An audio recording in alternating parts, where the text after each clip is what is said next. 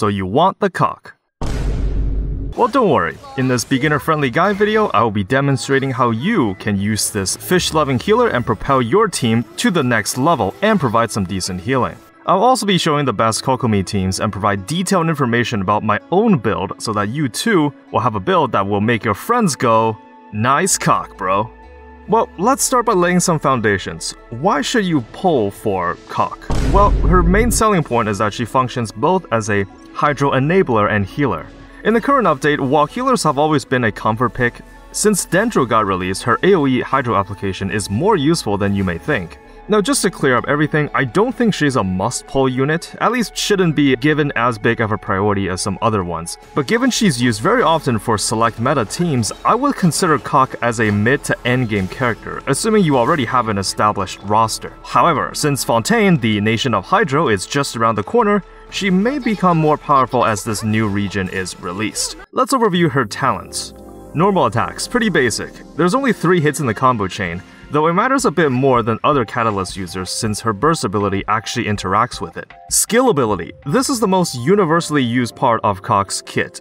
It will spawn a jellyfish and will do hydro damage as well as heal nearby allies every tick. The damage scales off the skill level and the healing scales off of max HP. The best part about the skill is that the ticks happen very quickly and there's no ICD or internal cooldown on the Hydro application, meaning every tick will apply a new instance of Hydro.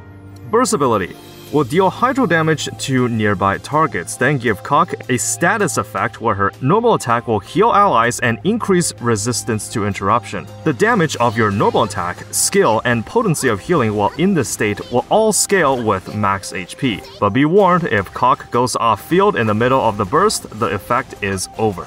Passives. These are actually quite interesting. The first will refresh your skill's duration if you use the burst ability. Since the skill has a duration of 12 seconds and a cooldown of 20, there will normally be an 8 second downtime, but this can ensure that it stays up for longer if you time it correctly. A4 passive. While in the burst state, damage will be further amplified by 15% of healing bonus. Cock has a very unique third passive. She will receive a 25% increase to healing bonus, but a minus 100% to crit rate. This got memed a little bit when she first released, but essentially, Unless you're a madman and gets over 100% crit rate, don't plan on critting. Weapons. Okay, so this is where things start to diverge. Because Cock can fit into many teams, what you use as a weapon and artifact set will depend on what you want to do. After some research, I've come up with three different ways that you can commit to a Cock build. The first is an on-field playstyle. In that case, I recommend the Chronotype Crescent, which is a free craftable weapon. A word of warning is that not all 5-star catalysts are clear-cut choices, since a lot of low rarities can compete. Her signature weapon, Everlasting Moonglow, is perfect for on-field playstyles, assuming you have it. But don't lie to yourself, you don't have this weapon. Hakushin Ring is yet another good choice so long as you have an Electro unit. This one's also forgeable. For an off-field playstyle, for supporting characters that skill off attack, such as Ayaka, Thrilling Tale of Dragon Slayer or TTDS is a good choice. The huge plus side is that this is a 3-star weapon and one very popular among Catalyst users. Another team you might be interested in is in Nilou Bloom. In that case, you will prioritize EM instead of HP, so Sacrificial Fragments will be a good choice for this. Farming for artifacts can be quite interesting. You can forget about how you farm for all your other characters because unlike those units, Cock can't crit.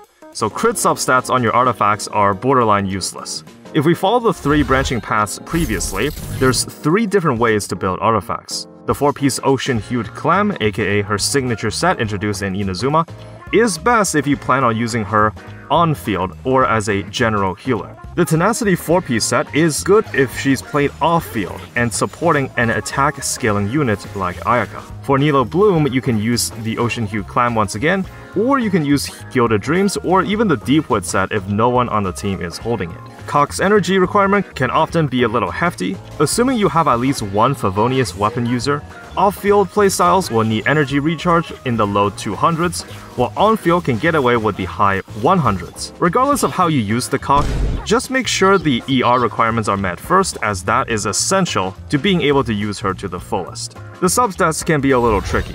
I imagine that the three ways you can fit into your roster form a triangle of sorts. And that your stats can fit into any position on that triangle depending on your needs. If you don't know specifically how you want to play her yet and just want a flexible healer who also does decent damage, you can settle for a 4-piece Ocean Hue Clam set with an HP percent Sands, Hydro Damage Goblet, and Healing Bonus Circlet. Because Cock's healing scales off HP, and she gets the double dip on healing bonus from one of her passives, having healing bonus is considered to be better than just HP percent. Now, I'm going to be mentioning this in case I forget later, but since she has a unique passive where she has negative 100% crit rate, any crit substats on your artifacts are essentially useless, unless you can somehow accumulate over 100% crit rate, so it goes into the positives. But that's a hefty dose of copium if I've ever seen one. You're mainly looking for ER, HP percent, and flat HP on your substats. The other approach, and one I'm personally going for, is an off-field Hydro Enabler for DPSs that scale off attack. In my case, Ayaka. I'm going to be farming for a 4-piece Tenacity set, as that gives additional 20% HP and some attack when using the skill. Since healing doesn't matter that much in freeze teams, as most enemies will be shut down permanently, I'm going to focus on prioritizing ER to ensure that my skill ability stays up for as long as possible by timing it with the burst to refresh it via the A1 passive. Of course, I'm still going to be looking for more ER and HP substats, and having a little healing doesn't hurt. For Nilou Bloom teams, you'll actually want to go for a triple EM setup on your artifacts, as transformative reactions scale off EM. In this case, specifically Nilou's Bountiful Cores. You can use either the Ocean Hue Clam, Gilded Dreams for more damage, or the Deepwood set, but only one unit in your Dendro team needs to be running this. The ER requirement is still in place, and it doesn't hurt to have a bit more HP for healing. Just know that since Nilou's cores will cause you to take self-damage, it may be worthwhile to invest a bit more into HP to meet your demands for adequate healing. Of course, you can also settle for a hybrid between any of the three playstyles if you don't want to commit hard into a corner. But this can run into the problem that in the endgame, while your cock can fit into many teams, she won't be exceptional in any one of them. Now, I won't be rating my artifacts pieces this time around, but I will show them off. Constellations. Skill leveling. So here's the interesting bit. If you only plan on using Cock as a general healer or in freeze teams, then you don't actually need that much investment in the talents. Assuming you don't take damage every other second, the healing is usually enough to get you through most encounters.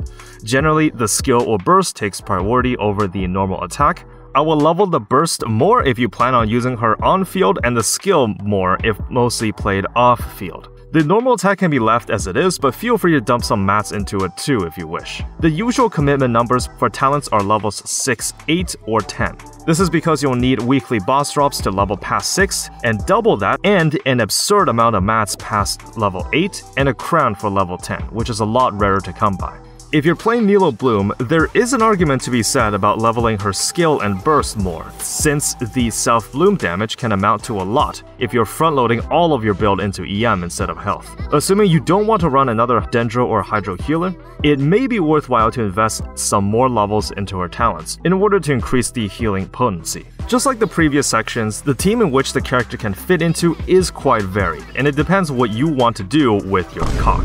You can literally fit her into any team as a general healer, assuming the Hydro applications don't screw with your strategy somehow. But here are the most prominent and popular teams that features this pink fish. One of the most popular Kokomi teams prior to Dendro was the, uh, team. Okay, the correct pronunciation is Sukokomon, sometimes known as a soup team, where the idea is that you use a Pyro, Hydro, Electro unit combined with an Anemo unit, and it uh, simulates cooking a bowl of soup. Now, this team is known to have a higher learning curve and stricter rotation. I don't have the knowledge to explain it in detail with my pea-sized brain, so I'll leave a link to a detailed guide where it's explained a lot better.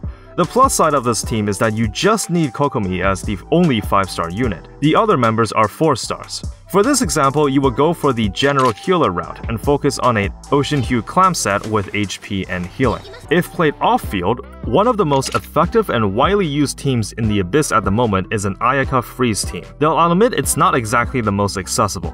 This is the build I'm personally going for and will be best suited by a tenacity set focusing on energy recharge and holding the TTDS weapon to give even more attack to Ayaka, all the while supporting the main DPS with Hydro applications. You can use this build for any character that scales off attack, so units like Ganyu can replace Ayaka in the team.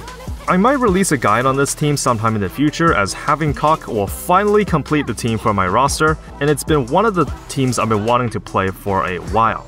Lastly, if you're going the Nilou Bloom route, I'm afraid I can't offer too much advice because I don't have Nilou yet, but rocking a triple EM artifact setup as well as something like the Sacrificial Fragment, you can trigger a lot of blooms with Nilou's Bountiful Cores will also provide some healing to counteract the self damage. You'll have to look up a Nilou guide for this, but it is an approach you can definitely take if you're a Nilou enthusiast. So here's my overall thoughts about whether or not she has a place in your roster. I definitely don't think she is a must-pull unit, but after some initial discussions after her release and some refinements from having Dendro in the game, she's in a much healthier state than 2.0 Genshin. With the Nation of Hydro coming soon, it's also possible that she may have a bigger playground than we think. Healer roles in the game are somewhat of a niche asset, and Cock is one of those cases where she provides more than adequate healing and enables Hydro very consistently. She'll likely be able to play a decent healer in any roster, but she does have some outlier teams that will truly make her shine. Overall, I think she's a good all-rounder healer and hydro applicator, so I will put her at the golden standard of 3 out of 5. And always remember, pull the cock, pet the cock, worship the cock. Thanks for watching and have fun with the game.